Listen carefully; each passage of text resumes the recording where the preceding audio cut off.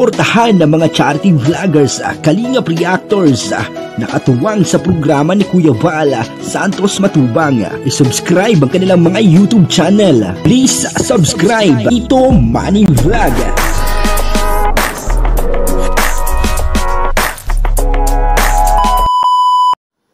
Ayan po, no, sa video ito ay uh, mapapanood po natin ano, kung paano po na in love si Kalinga Prab dito kay Ma'am Jack Tapia. No. Medyo marites po tayo ngayon ano, ah, tungkol sa mga pag-ibig. Doon po sa K5, ano, mamaratis po natin sila kung paano po sila na in love. Ano po. Kasi yun po ang topic nila eh, doon sa kanilang pinag-uusapan. At uh, papanoorin po natin yan at bibigyan po natin ng konting reaction. Pero bago po yan, ako muna po ay bumabati sa inyong lahat ng magandang umaga, magandang tanghali, at uh, magandang gabi sa inyong lahat mga kapatid. Saan man kayo ng panig ng mundo naroon ngayon ay mag-iingat kayo palagi at uh, pagpalain kayo ng ating Panginoon. Maraming maraming salamat din po sa patuloy na tumatangkilik sa aking YouTube channel at nanonood sa aking video reaction. Patuloy lang po natin suportahan sila Kuya Bal Santos Matubang, Kalinga Prab, at uh, Ate Edna Vlog, kung nanonood po tayo ng kanilang mga video, ay wag po natin skip yung ads upang sa ganun ay patuloy po tayo makatulong doon po sa kanilang adhikain sa pagtulong sa ating kapwa na naghihikaw sa buhay. O ito po yung video no, na kung saan ay uh, naikwento ni Kalinga Prab na po kay uh, Pastor E.R. Villagomez ano po. Uh, suportahan po natin Pastor E.R. Villagomez. At uh, ang kabuuan po ng uh, video ito ay mapapanood po natin sa YouTube channel ni Pastor E.R. Villa Gomez. So, ang tanong is, paano mo ba malalaman kung ang nararamdaman mo tunay na pag-ibig o siya na ba talaga? Paano mo malalaman? Sa akin, paano malaman? Um, Tips mo kay Edu at kay ano? Sa akin kasi bigla na lang din eh. Parang di mo siya may isip na... Oo, kasi nung unang kita ko kay Jack, talagang nailabag agad ako. Oo nga. Totoo pala yun yung love at first sight. Totoo yun. Kasi minsan sa ano, um, sa tawag dyan, sa minsan sa social media, magagandahan ka lang. Parang di ka man talaga, di mo naman talaga gusto.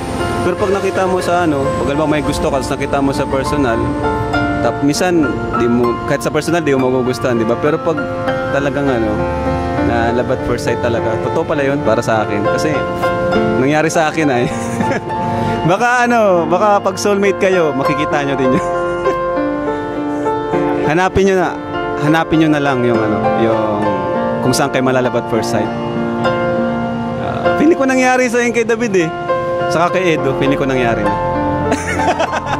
Ikaw sumasagot na. Grabe, Yun po. Ano nakapag-decide na siya na talaga?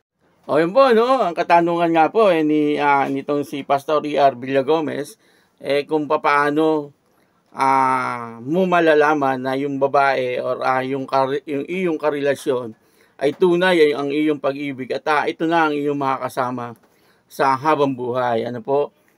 Tinanong din po kila Kalinga Pedo, kila uh, Kalingap Dan at uh, kay Jomar, ano, pare-pareho po ng tanong, ano, at uh, nasagot po nila ng maayos.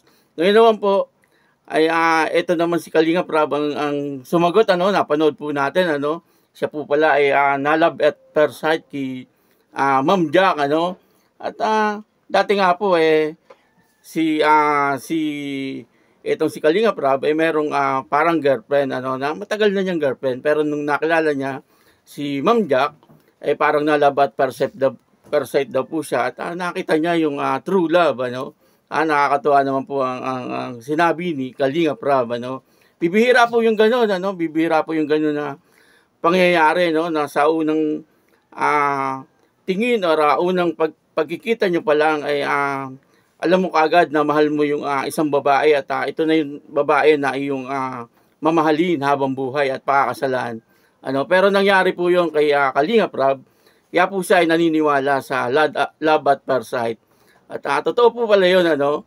At uh, ang nakapagpatunay po na totoo yun ay si Kalinga Prab, ano? Kasi nangyari po yun sa kanyang buhay, ano? Ngayon, nakikita naman po natin na talagang maayos yung pagsasama ni uh, Kalinga Prab at uh, ni Ma'am Jack Tapia at meron na nga pong uh, sila ngayong uh, anak, ano? Yan po ay si Baby Rabay, ano? At uh, sila po ay masaya, ano, lagi nakikita po natin na talagang uh, sweet na sweet yung uh, mag-asawa. I- ibig sabihin, silang dalawa po talaga yung uh, itinadhana ano ng ating Panginoon para uh, sa ganon eh maging uh, mag-asawa ano po kaya yun po no yun po ang, ang sinabi ni Kalinga Prab na siya daw po ay uh, nalab at parasite dito kay uh, Ma'am Jack Tapia napakaganda naman po din talaga ni Ma'am Jack Tapia bukod sa maganda na eh mabait pa at uh, matulungin ano wala pong lalaki na hindi kagad may in love dito kay Ma'am Jack Tapia at uh, yun nga po ay nangyari kay Kalinga Prab kaya yun po, no, maraming maraming salamat po sa inyong lahat. Patuloy lang po natin supportahan si uh, Kalinga Prab, Kuya Bal Santos Matubang at uh, Ate Edna Vlog. Ganun din po si ER, Pastor ER Villa Gomez. Ano po? Ako po si Tito Manny Vlog na nagsasabing God bless you all. Diyos mabalos.